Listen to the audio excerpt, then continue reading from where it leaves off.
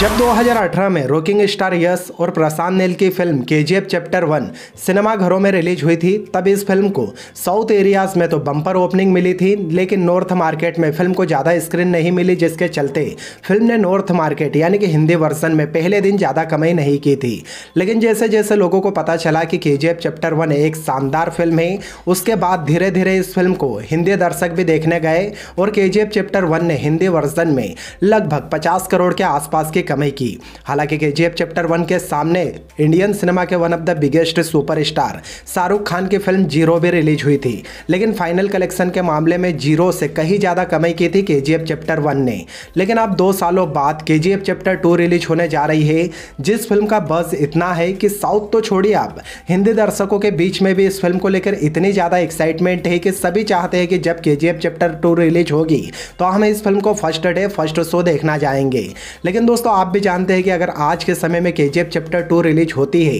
तो ये फ़िल्म पहले दिन ही कम से कम सौ करोड़ रुपए की कमाई करेगी। पर दोस्तों, आपको बताना चाहेंगे कि जहाँ के चैप्टर वन के सामने शाहरुख खान की फ़िल्म ज़ीरो रिलीज़ हुई थी, वही इस बार के चैप्टर टू के सामने शाहरुख खान तो नहीं, लेकिन बॉलीवुड के एक और खान, यानी कि आमिर खान की फ़िल्म रिलीज़ हो सकती है। हाँ दोस्तों, आपको बताना चाहेंगे कि बॉलीवुड हंगामा की रिपोर्ट के मुताबिक ये खबर सामने निकल के आई है कि बॉलीवुड के मिस्टर परफेक्ट कहे जाने वाले आमिर खान। अपने आने वाली फ़िल्म लाल सिंह चड्डा को के चैप्टर टू के साथ क्लेश करने का प्लान कर रहे हैं। दरअसल दोस्तों, आमिर खान की फ़िल्म लाल सिंह चड्डा पिछले साल क्रिसमस पे रिलीज़ होने वाली थी, लेकिन पेंडेमिक के चलते फ़िल्म की रिलीज़ डेट बार बार पोस्टपोन होती रही और अभी कुछ महीनों पहले ही आमिर खान ने अनाउंस किया था कि लाल सिंह चड्डा को 11 फरवरी 2022 में रिलीज़ किया जाएगा। लेकिन दोस्तों आप खबरें आ रही है कि लाल सिंह चड्डा अब 11 फरवरी को रिलीज़ नहीं होगी, बल्कि लाल सिंह चड्डा फ़िल्म के जो मेकर्स है वो इस फ़िल्म को के चैप्टर टू के साथ क्लेश करने की प्लानिंग कर रहे हैं।